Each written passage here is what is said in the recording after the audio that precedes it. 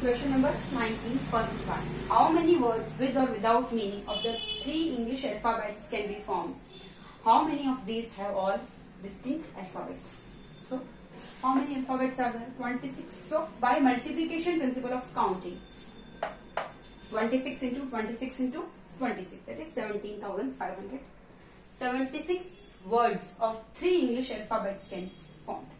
Second is how many of these have all distinct alphabets? Distinct alphabet means if I am taking here any 26 alphabet I can take from any 26 alphabets. So 1 is used here so only 25 are left so 25 choices. Then 2 are used so only 24 choices are left. So 26 into 25 into 24 that is 15,600 words can be formed when all have distinct alphabets. Part second you can see two cards are drawn one at a time and without replacement from a deck of 52 cards determine the number of ways in which cards can be drawn. What is given? Two cards are drawn one at a time and without replacement. Without replacement. So how many cards are there? 52. So 52 choices are there and it's given without replacement. Without replacement. So for second only 51 choices are there. So 52 into 51 that is 2652 ways.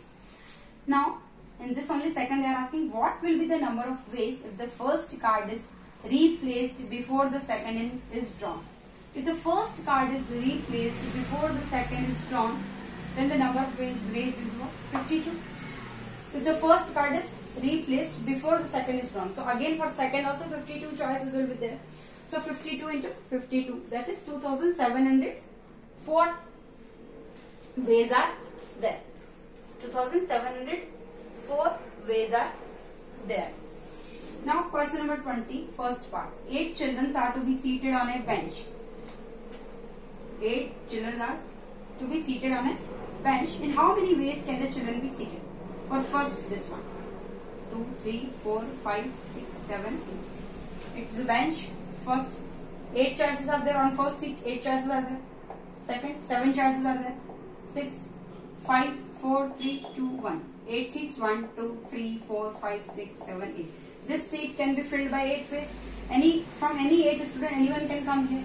Then 7 choices are like this 40,320 ways the children can be seated. Second part how many ways, how many arrangements are possible if the youngest child, youngest child sits at the left hand end of the bench. So from 8 sittings 1 2 3 4 5 6 7 8 this left hand is fixed for youngest child.